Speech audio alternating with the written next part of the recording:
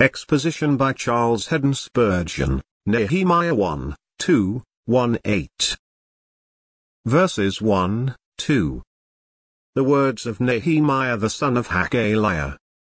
And it came to pass in the month Chislev, in the twentieth year, as I was in Shushan the palace, that Hanani, one of my brethren came, he and certain men of Judah, and I asked them concerning the Jews that had escaped, which were left in captivity and concerning Jerusalem.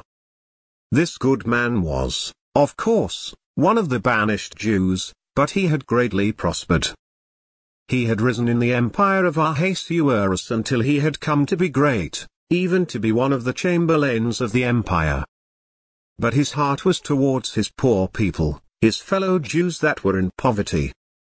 Now, whenever God exalts a Christian in a temporal position, he ought not to disown his poor brethren, but his heart should go out towards them to see what he can do for them. It is a shame for any man to forget his country. Does not the Pole still say, No, Poland, you shall never perish? And we admire such patriotism. And the same feeling should be in every Christian breast. We should love the Church of God even as Nehemiah loved the chosen race from which he had sprung. So when he met with Hanani, the conversation was all about the poor brethren that remained at Jerusalem. 3. And they said unto me, The remnant that are left of the captivity there in the province are in great affliction and reproach, the wall of Jerusalem also is broken down, and the gates thereof are burned with fire. A sad story they had to tell. Ezra had assisted in somewhat rebuilding the temple, but little had been done for the private dwellings and for the walls and public buildings of the city.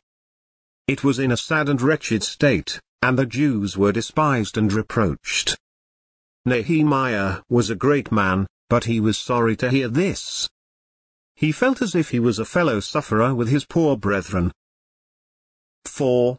And it came to pass, when I heard these words, that I sat down and wept, and mourned certain days and fasted, and prayed before the God of heaven. Was it his concern? Was it any more his concern than that of other men? Yes, he felt it to be his, and the tender heart which he had towards the people of God made him feel it to be peculiarly his. If nobody else did anything, he must. And, oh, dear brothers and sisters in Christ, whenever you see the cause of God in a sad estate, lay it to heart, weep, lament and pray, feel that you have an interest in it. Christ is your Saviour. Of the Church you are a part. These blessed interests of sovereign mercy belong to you. Take them to yourself and say, by God's help, I will lay myself out for the progress of His cause. I sat down and wept, and mourned certain days, and fasted and prayed before the God of heaven. 5, 6.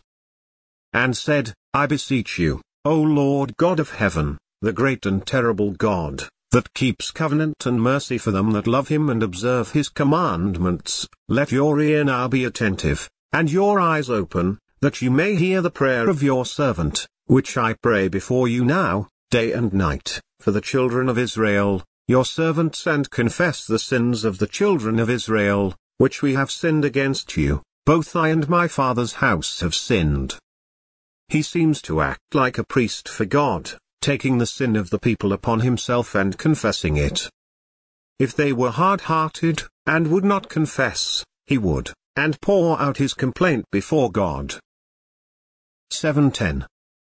We have dealt very corruptly against you, and have not kept your commandments, nor the statutes, nor the judgments which you commanded your servant Moses. Remember, I beseech you, the word that you commanded your servant Moses, saying, If you transgress, I will scatter you abroad among the nations. But if you turn unto me and keep my commandments and do them, though there were of you cast out unto the uttermost part of the heavens, Yet will I gather them from there and will bring them unto the place that I have chosen to set my name there. Now these are your servants and your people, whom you have redeemed by your great power, and by your strong hand. You see what an admirable prayer this is. There is a full confession of sin, an acknowledgement of the justice of God in having punished his people. But then there is a quoting of the divine word, a putting of the Lord in remembrance that he had made such and such a promise.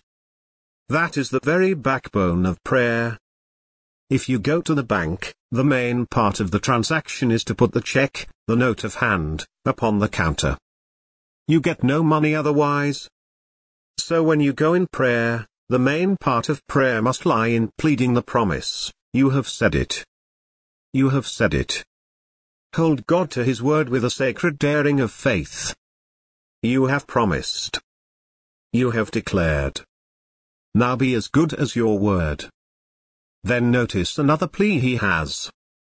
He says he is pleading for God's servants, his redeemed, redeemed by great power. Oh, it should always make us feel strong in prayer when we recollect that God's people are very dear to Him and He has done great things for them, therefore He loves them and for those whom He loves, surely He will work great deliverances. These are arguments. There ought to be great argument in prayer if we hope to prevail. 11. O Lord, I beseech you, let now your ear be attentive to the prayer of your servant, and to the prayer of your servants who desire to fear your name, and prosper, I pray you, your servant this day, and grant him mercy in the sight of this man. That was King Artaxerxes, whom he rightly viewed as a man, for, great as he was, all-potent king of Persia, yet still but a man. Nehemiah consoles himself in the prospect of having to go in before him to ask favor at his hands. 11. For I was the king's cupbearer. Nehemiah 2, 1. And it came to pass in the month Nisan, three or four months after he began to pray. 1. In the twentieth year of Artaxerxes the king, that wine was before him, and I took up the wine, and gave it unto the king. We have in some of the old slabs and carvings some singular pictures of the dainty way in which the kings of Persia and Media were served by their cupbearers. They always spilled a little wine upon their left hand and drank first, for fear the king should be poisoned. So the greatest men of the different provinces of the empire were called by turns to act this part before the king. It was a piece of state ceremony. 1. Now I had not been before time sad in his presence. And there was a law, one of those stupid Median laws, that no man was to come before the king with a sad countenance. It was supposed that the king must be so serenely happy, himself, that none might come there unless they were happy, too.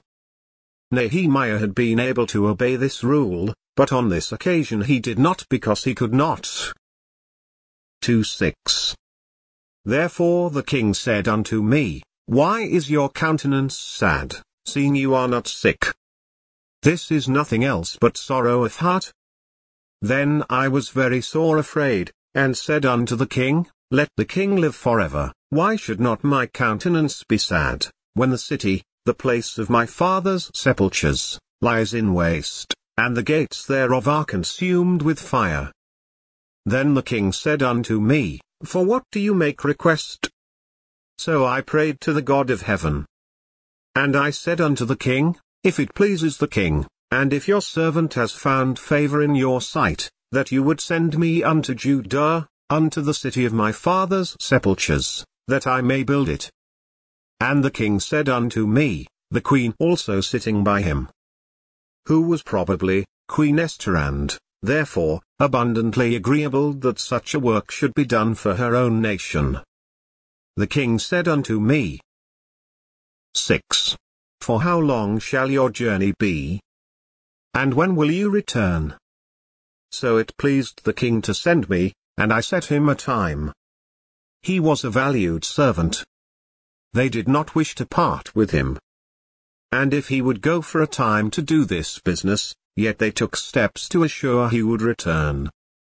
There are some servants that I know of, who, if they were to go away, their masters would not be particularly anxious that they should come back again.